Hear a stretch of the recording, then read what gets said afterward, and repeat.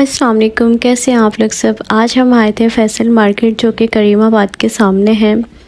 हमने इसकी भी वीडियो देखी थी और लोगों ने भी सजेस्ट किया था कि ये अच्छी मार्केट है। अच्छा ये जो आप कुर्ती देख रहे हैं, इसकी मैं बैक साइड से देख रही थी कि ये काम कैसे किया हुआ है। तो इन्होंने हाथ का काम किया हुआ था इस शर्ट पर और ये शर्ट थी टू थाउज़ेंड की ओनली शर्ट थी। बाकी इसके अलावा इस मार्केट का मैं आपको बताऊँ ओवरऑल ये मार्केट बहुत अच्छी थी वैसे मैं पर्सनली बताऊँ तो यहाँ का कपड़ा बहुत अच्छा होता है।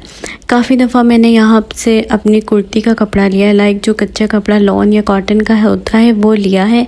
लेकिन शादी के हवाले से मेरा फ़र्स्ट एक्सपीरियंस था और शादी के हवाले से यहाँ पे कपड़ों की प्राइस बहुत कम थी। जैसे कि वाइट ड्रेस जो आजकल बहुत इन है, हानिया आमिर ड्रेस वो थ्री थाउज़ेंड फाइव हंड्रेड का मिल रहा था। मैंने सेल में से दो हज़ार पच्चीस सौ का लिया था।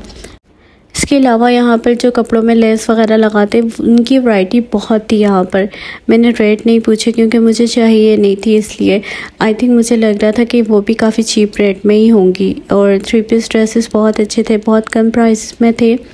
और आजकल जैसा दुबट्टा मल्टी कलर और शीशों वाला चल रहा है, वो दुबट्टा यहाँ पर था। नॉर्मल प्राइस में था फिफ्टीन हंड्रेड में। एटीन हंड्रेड कह रहे थे, लेकिन वो कह रहे थे कि फिफ्टीन हंड्रेड में दे देंगे? और उनके साथ ड्रेस थाउज़ेंड रुपीज़ का था सिंपल सादा ड्रेस लेकिन एक बात है, यहाँ पर जो वाइट ड्रेस है ना, वो बहुत कमाल के ड्रेस थे, बहुत बहुत ज़्यादा। मतलब वाइट और गोल्डन कलर में तो मेरा इतना कोई दिल आता है ना कि मैं क्या बताऊँ। और मैं लेना भी यही चाह रही थी मतलब ये जो लाइट वाइट और गोल्डन आया था ना, इस टाइप का, लेकिन बस इतफाक से मैंने हानिया में ड्रेस ले लिया वाइट और गोल्डन में, अब तो ले लिया, अब क्या कर सकते हैं? इसके बाद यहाँ से हमने दो तीन ड्रेस लिए थे इनकी शॉप से, और हमें कम रिजनेबल प्राइस में मिल गए थे। ये है वो आजकल जो फ़ेमस दुपट्टा बहुत इन है।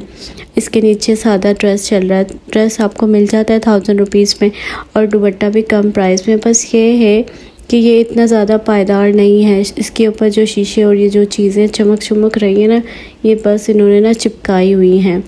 तो डेफिनेटली एक दो वॉश करने से ये सब उतर जाएगा। इसके बाद हम फिर बाहर आए, यहाँ से अम्मी को कुछ चीज़ें वगैरह लेनी थी। अम्मी ने वो क्लॉथ वगैरह वहाँ से लिए और बस फिर हम यहाँ से निकल गए और यहाँ से जाने के बाद फिर हमने जाते रास्ते में हमें लाल खेत मार्केट पड़ती है। तो हमने सोचा क्यों ना वहाँ से भी विज़िट करते जाए। ऑलरेडी हमने किया था, लेकिन पूरी मार्केट हम नहीं घूमे थे। तो हमने सोचा क्यों ना थोड़ा सा वहाँ का भी हो जाएगा, क्योंकि वो रास्ते में ही पड़ती है हमारे घर के।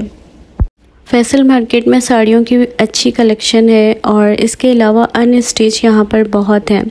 स्टेज यहाँ पर, स्टेज क्लॉथ है ही नहीं और वाइट और गोल्डन की क्वालिटी और डिज़ाइन बहुत प्यारा है मतलब बहुत अच्छा है। और इसके अलावा ब्राइडल वगैरह में यहाँ कोई ख़ास चीज़ नहीं है, लेकिन एज़ अ पार्टी वेयर और ना एज़ अ वलीमा वगैरह वो है। इसके अलावा फैसल मार्केट के ऊपर का जो एरिया है, वहाँ पर आप अपने ऑर्डर पर ड्रेस बनवा सकते हैं, ब्राइडल हो पार्टी वेयर हो, जो कुछ भी हो मतलब आप उनको ऑर्डर दें और वो फिर आपको ऐसा सेम ड्रेस बना कर देंगे। ट्वेंटी फाइव डेज़ में वो रेडी करते हैं। और यहाँ पर एक दो शॉप में हमें ब्राइडल ड्रेस नज़र आया तो हमने सोचा क्यों ना देख लेते हैं चेक कर लेते हैं।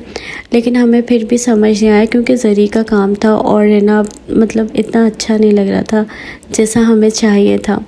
और फिर हम बाहर आए और यहाँ से हम गए थे लालू खेत लालू खेत से हमने सोचा क्यों ना यहाँ से हाँ एक्चुअली हमें यहाँ से ना एक पॉट चाहिए जो इसमें बारह मसाले होते हैं ना, जिसमें बस बारह मसाले ऐड करते हैं, वो चाहिए था। तो हमें किसी ने कहा कि क्रॉकरी अच्छी मिलती है लालू खेत से।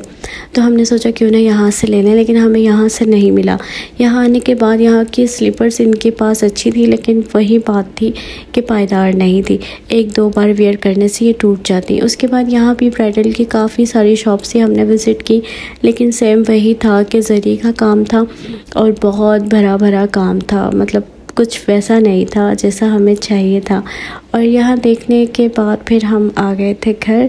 यहाँ पर ही हमारी वीडियो होती है कंप्लीट अब thanks for watching and do subscribe please मेरी आप सबसे यही रिक्वेस्ट है कि सब्सक्राइब करें फॉलो करें और शेयर करें। थैंक यू सो मच अपना सब का ख्याल रखें और प्लीज़ फ़लस्तीन को अपनी दुआओं में याद रखें। अल्लाह ताला उनकी हिफाजत फरमाए और तमाम मुसलमानों को अंदर ये जज्बा पैदा करें कि हम उनके साथ खड़े रह सकते